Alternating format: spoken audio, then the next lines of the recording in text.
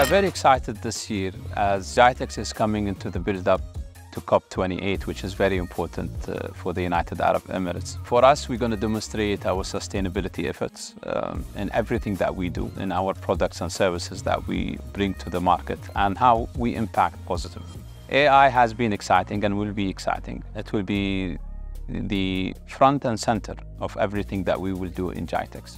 It's very difficult that you stay relevant in technology. As you've seen in, in you know, the past 12 months with the rise of the large language models and everyone is rethinking how would my strategy look like and how can I adopt this new technology, you know, that, that we can remain relevant as we move forward.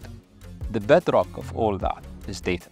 How can you collect the data, securely transport it, securely store it, and organize it in a way that any model can extract insight out of it is the most important thing.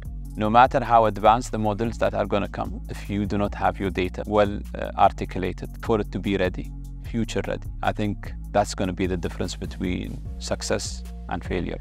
What excites me about GITEX is a melting pot, as you rightly said. From the United Arab Emirates, we, in my remit, I'm looking uh, after over 60 countries. It's almost impossible to meet everyone uh, within a calendar year. An event like GITEX brings people together from every part of this uh, planet in one place, in one week. I think it's a great opportunity for us to connect.